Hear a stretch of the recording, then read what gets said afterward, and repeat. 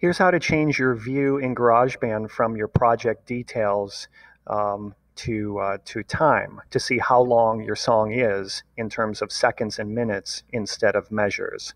What we see right here that we have one, two, three, four, and so on, and those are called measures. So if we wanted to change it to see how long um, our song is, we would click right here and we would change the display mode from beats and project to time.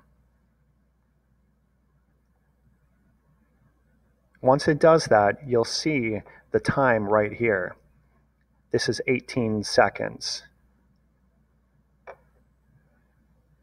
at this marker.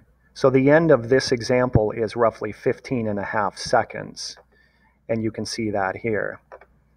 Also, your zoom button is right here, this uh, zoom slider, so you can zoom in and out and by doing that, we can see a little bit more clearly. And we can see here's zero seconds, here's one second, two seconds, three, four, and so on.